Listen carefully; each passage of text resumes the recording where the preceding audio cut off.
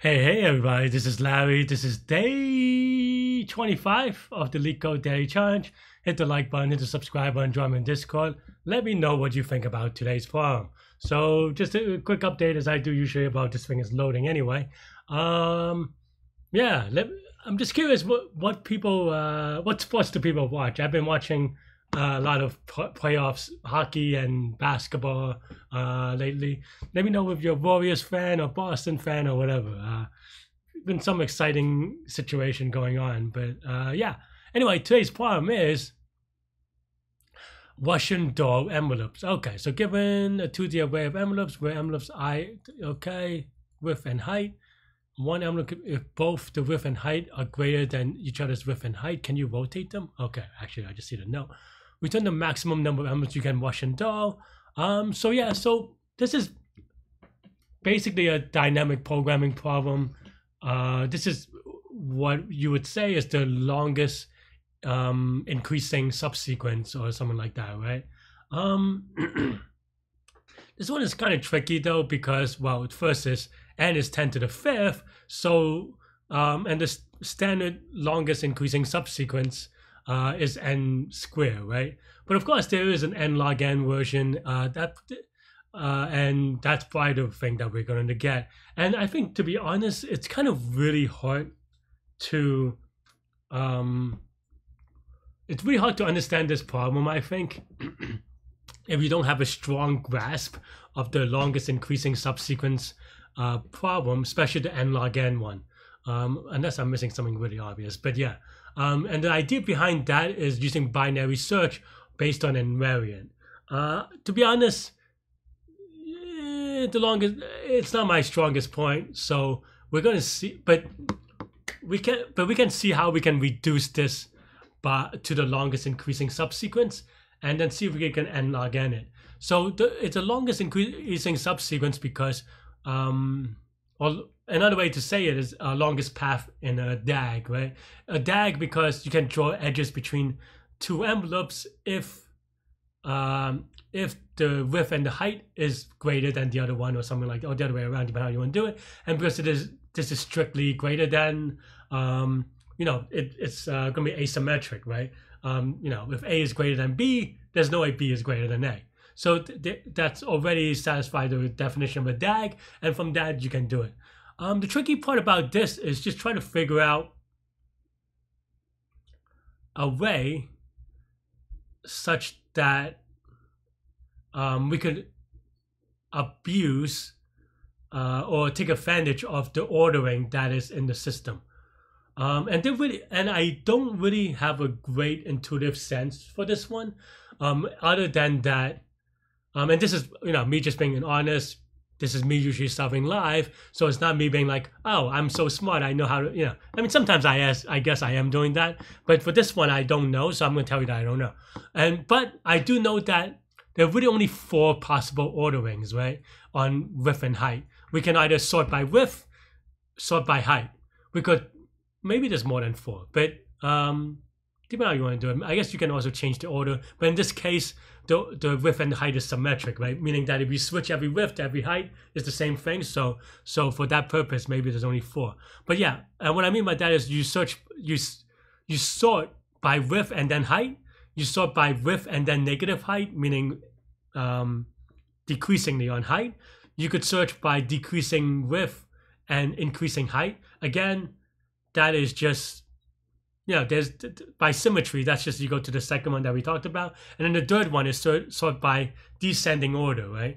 Um, technically, they're not the same in the set in the way that um, because of the ordering. If you go from left to right, then you know it's going to maybe have some difference.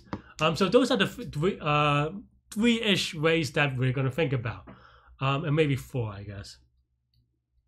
Um, yeah, and then we could see, and then from that, it's just about for me anyway especially if I'm doing it from scratch, I'm going to try to see if there's an ordering about that, right? So, because for example, what uh, the next step that I'm thinking about, which I guess I didn't really talk about it articulately, um, is that if we sort by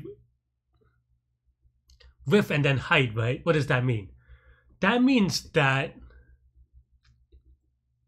that means that you know, let's say we sort. Um, let's just actually do it, right? Because I'm too lazy to type it out. If we sort by width and then height, what does that mean? What that means is that given this, given this sorted uh, uh, envelopes, what that means is that as you go from left to right, this one's actually a little bit bad in that, uh, or it just coincidentally, it's a bad example. Okay, let me use another example, um, because I want one where um, they're not quite uh, lined up quite as neatly. So maybe two, seven, uh, four. I don't know. I'm just doing random numbers really.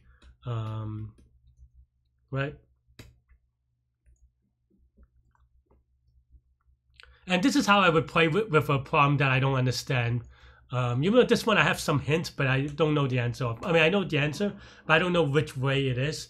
Um, or like I have an idea, and this is my guess, um, and this is what I'm going to do, right? So basically, for this one, for example, if you now get rid of the width, um, even getting rid of the getting rid of the width, um, for example, we have now three seven, one eight four four seven, just the height.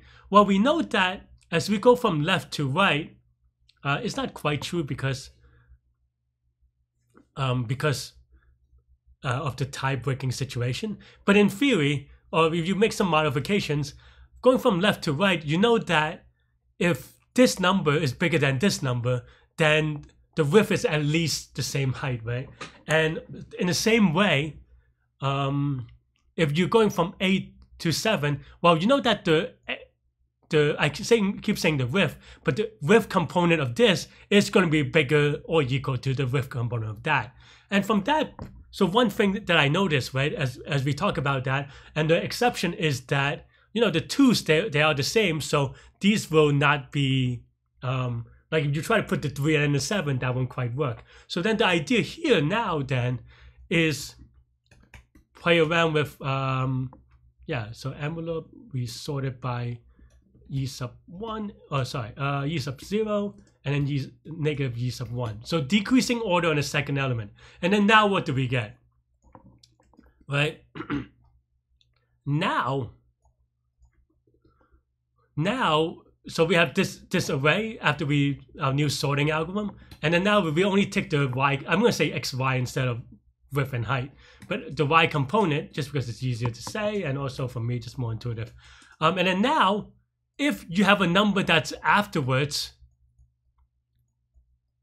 so basically the property that we, we're discovering is that if for a sub i, or if y sub i,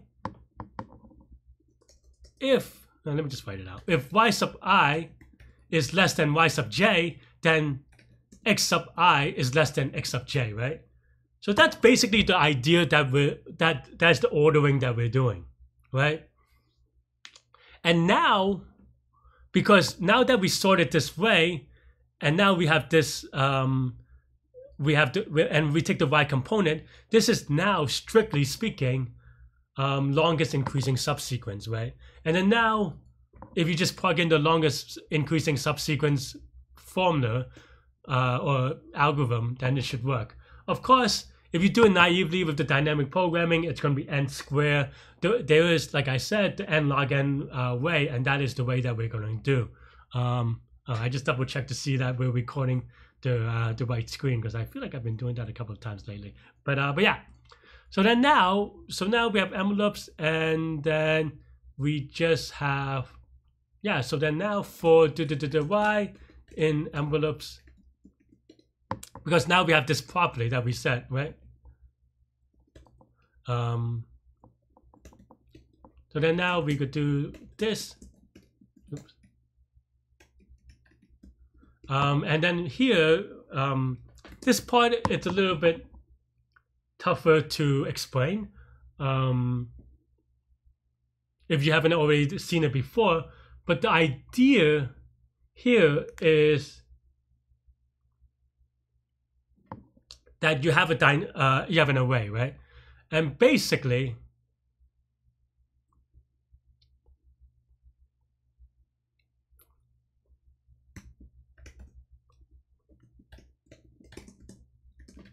basically what what is this best array, right? Best is you go to the um, or best of i is you go to the the the smallest element um, the smallest last element that has uh, of a of an increasing subsequence of length i, right?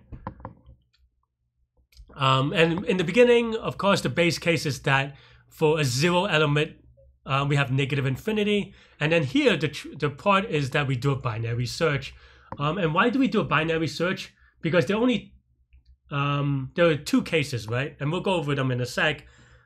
It's kind of uh, approved by kind of proof by case analysis. It's not the best proof, I don't think, but that's the proof that I'm going to go with today for now because it's kind of an involving um, idea. And I definitely urge those of you at home, um, come to my Discord or leave a comment um, asking questions about this because um, it is very tricky to get. Um, the understanding is critical, but it is tricky to get it right if you. Um, yeah, it's just very tricky. But I'll go over the two cases, right? So, do we want bisect left? No, we want strictly greater than. So yeah, best of y, right? And then this is index. But basically the idea is that we're trying to find this the smallest number. Where are we? Yeah,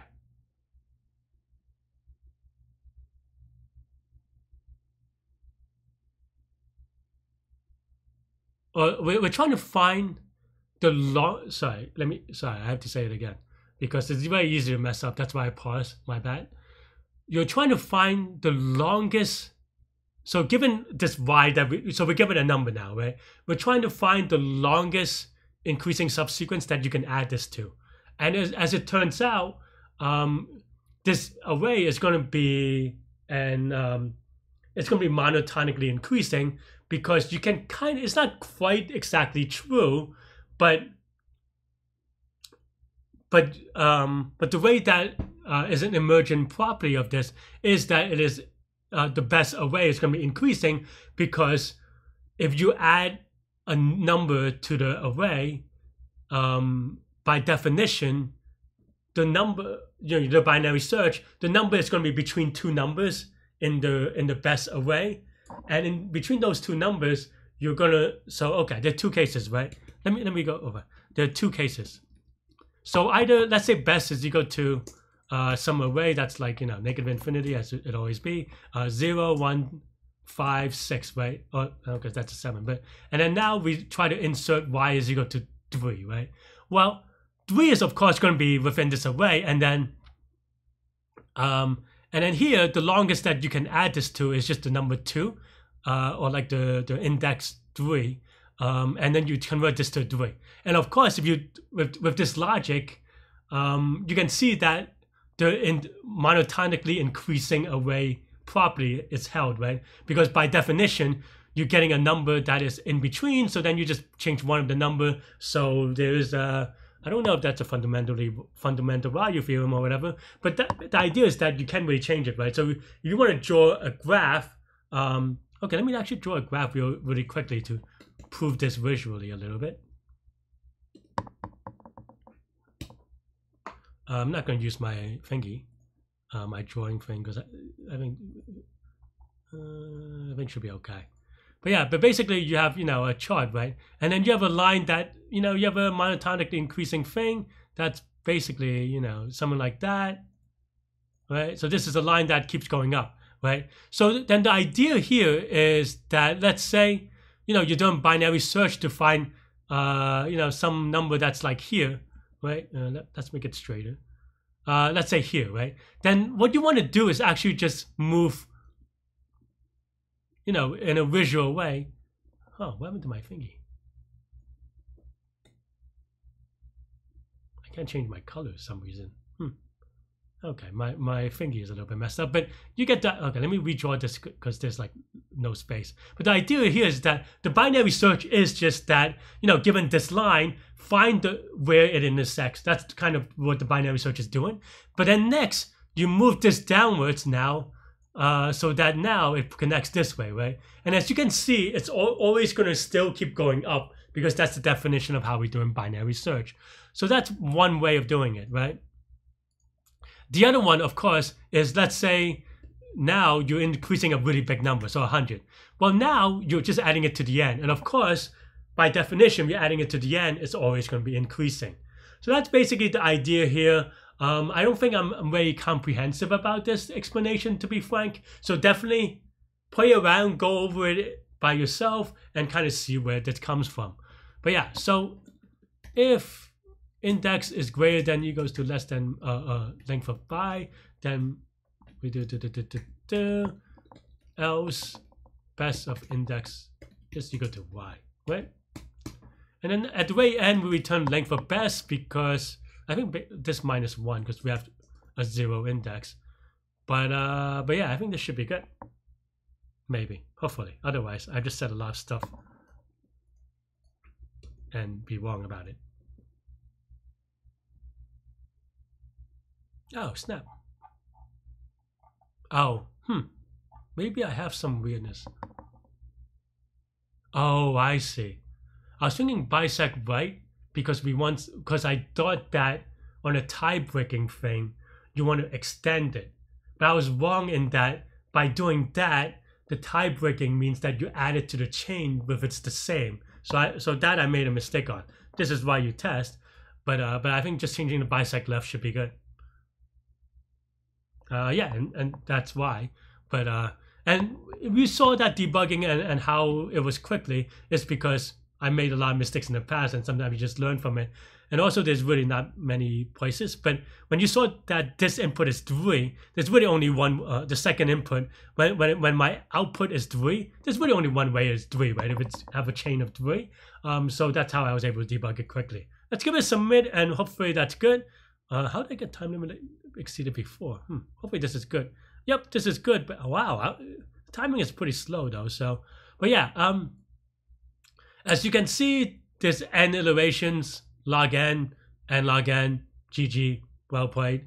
Uh, that's the time, and complexity is gonna be O of n or O of c, or for for the size of the output. If you want to do context sensitive answer, um, that's fine too. Um, yeah, I'm just uh, curious what I did last time. How why is it so much faster? Did they just add more test cases? No, it just seems like they added more test cases. Seems like I did the same thing exactly. Uh, what did I do? The, did I just do the n square one? Yeah, I don't know. Why did I, maybe I just misread it because it's ten to the fifth. There's no way this would have passed, but uh, but maybe I was just showing it or something. I don't know. And now I didn't see plus plus. Oh, hmm. Why did I do it n squared in C++ too? Uh, that's weird. Okay. No, this is this is n squared. I wonder if they just added more test cases as they go, because maybe there was a time when this was n squared and it was okay, um, because clearly that's an n squared solution. Though, yeah, this is n squared and it's still too slow, so maybe not. I don't know. Hmm. But, but for 10 to the fifth, it should not even be that close to time limit exceeded. So I don't know. Anyway, that's all I have for today. Let me know what you think. Stay good, stay healthy to good mental health. I'll see you later and take care. Bye bye.